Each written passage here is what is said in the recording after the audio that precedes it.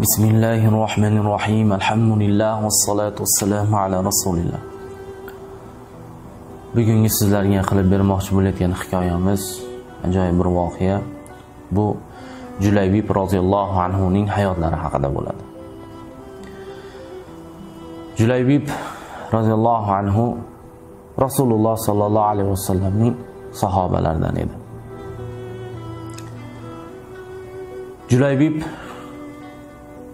roziyallohu anhu u zotning hech narsalari yo'q edi. Na u kishining uylari yegani taomlari nasl nasablari kiygani kiyimlari. U kishining uylari masjid edi. Ichadigan suvlari ommatan hamma ichadigan hovuzdan suv ichardilar. Hech narsasi yo'q edi.